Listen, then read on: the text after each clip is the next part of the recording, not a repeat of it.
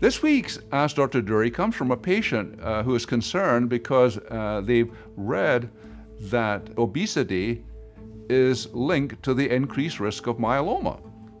And the answer to this particular question is that yes, being overweight has been linked to an increased likelihood of developing multiple myeloma.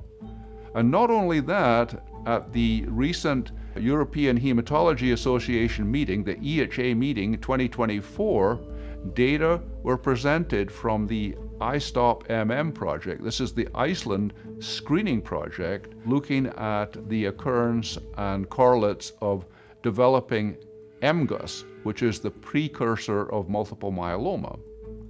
In a recent analysis from the iStop MM, it was noted that the greater the increase in the weight in, in patients who were uh, obese, the greater the likelihood of developing MGUS. And so there was a very strong correlation between increasing weight and the increasing uh, occurrence of MGUS. And so this is extremely important because uh, in Iceland, these patients are truly coming from a random screening. Uh, with other kinds of MGUS where patients might have gone for evaluation to the hospital, um, maybe for being overweight or having heart complications or other kinds of things, it's actually hard to assess is MGUS really truly associated with being overweight. But in this case, it seems to be a true association.